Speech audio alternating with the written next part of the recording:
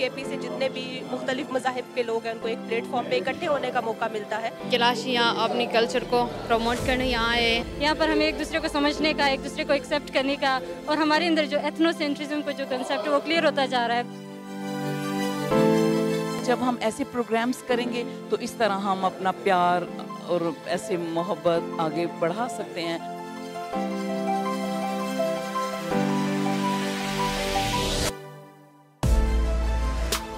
अब हमारे बच्चे बच्चे को पता है कि ये कितनी ज़्यादा ज़रूरी और अहम है और इसके लिए हर मुमकिन कोशिश करनी होगी। मुकालमे के ज़रिए, डायलाग्स के ज़रिए इस तरह के कुर्बतों के माहौल पैदा करें और एक दूसरे के मौक़ को सुने, बात को सुने।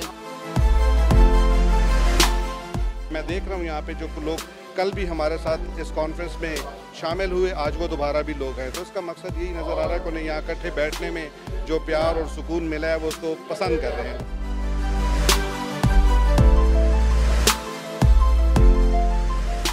सुबह खैबर पख्तनख्वा मुख्तलिफ़ मज़ाहब के लोगों का एक खूबसूरत गुलदस्ता है।